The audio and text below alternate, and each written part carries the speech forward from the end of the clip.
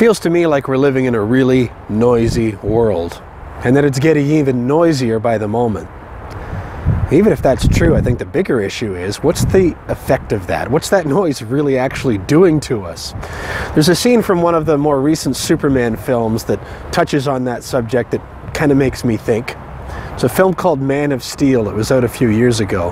And in this scene, the bad guy, General Zod, has come down to battle Superman. Now remember, those two guys aren't supposed to be human like you and me, even though they look like it, they're actually from a planet called Krypton. And one of the things that makes them different is this really highly tuned ability to sense everything that's going on anywhere around the world.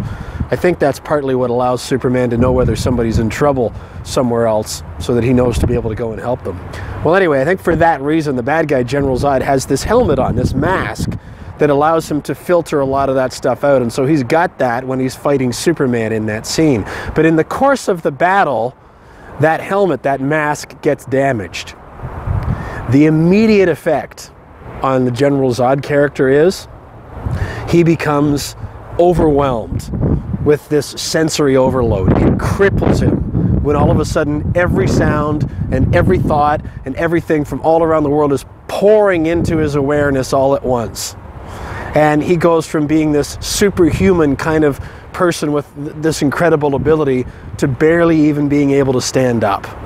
And as he's crippling down kind of onto one knee, he looks up to Superman and he asks, What have you done to me?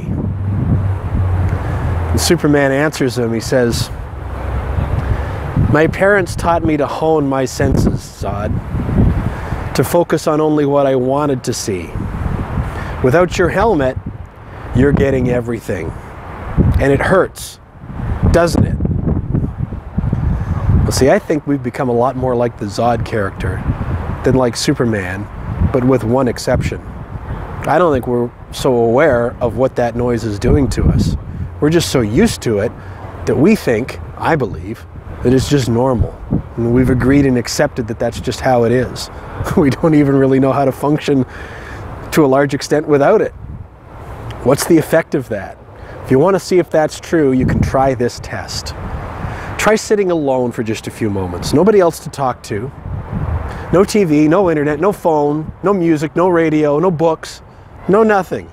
Just for a few minutes even. Just you and whatever's in between your ears. Try sitting for five minutes with your eyes closed and quiet and see how natural that feels. It hurts, doesn't it?